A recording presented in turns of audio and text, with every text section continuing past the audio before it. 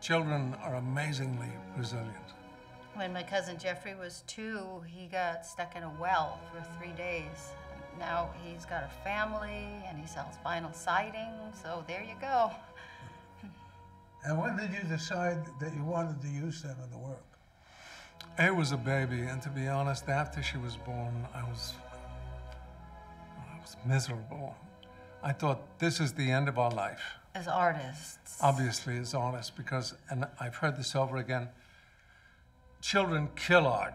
They just do. You have them, and the passion you had for creative expression becomes secondary. you know, some people believe that.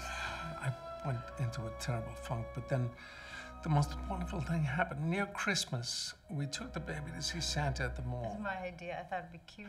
We grab the camera, we go down there, and I put A on this rancid hobo's lap, and she, of course, screams, but in a way I'd never heard. It was like something conjured by the dark arts, like a horde of demons were gonna fly out of her mouth, and poor Santa's trying to shake her loose. The, the elves go running for the break room, families grab their children, run from the light. It was pandemonium and an epiphany for me.